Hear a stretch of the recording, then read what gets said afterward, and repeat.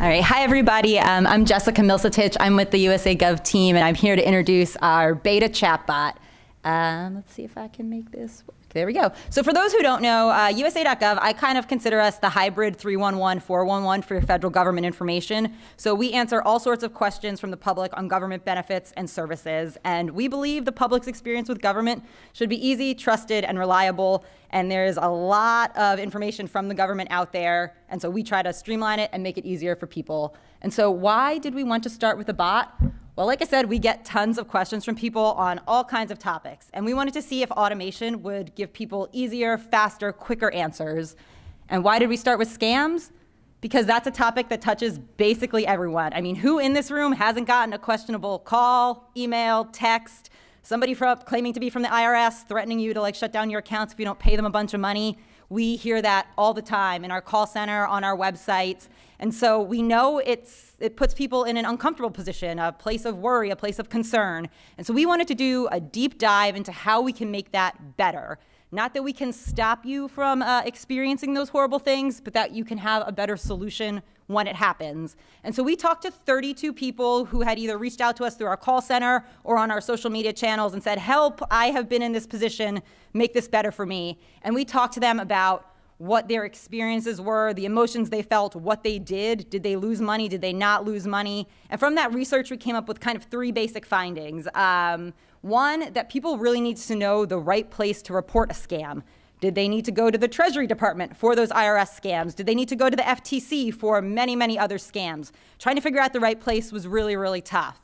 Knowing if an interaction they had even was a scam was another big pain point. Some people couldn't identify if this interaction was legitimate or not. And in fact, we found that actually millennials were the group that were more likely to give their money to a scammer than older generations, which, yeah, we found that really interesting um, for sure. And then the last thing people wanted to know that if they gave their money away, could they get it back?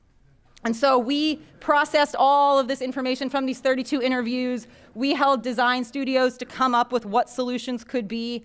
And at the end of the day, we decided that we needed something more personal. People needed a better experience.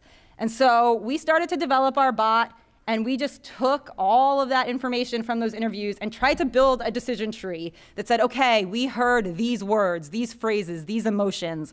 And based on that, what do people need? And so we you know, sketched it all out. We used a bunch of spreadsheets. We tried to make sense of it before putting it into our really lightweight tool for this beta, and our tool is a simple if-then technology.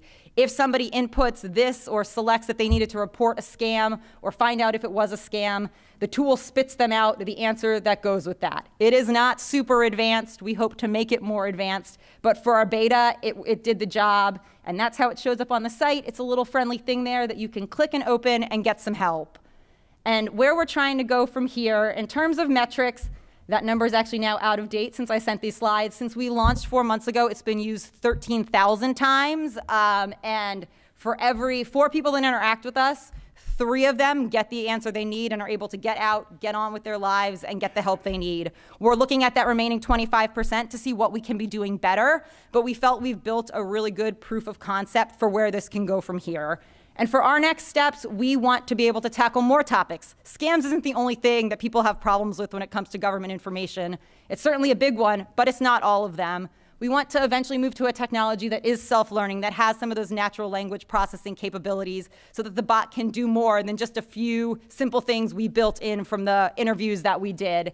And once the bot is smarter, we want to integrate more seamlessly with our call center so we can take that omni-channel approach. So no matter where you go to get an answer to, hey, is this weird call I got real or not, you get the same answer from us no matter where you find us. So we're in the beta stage. We're really looking forward to growing from here, and we think we've got some really, really great data to get us there.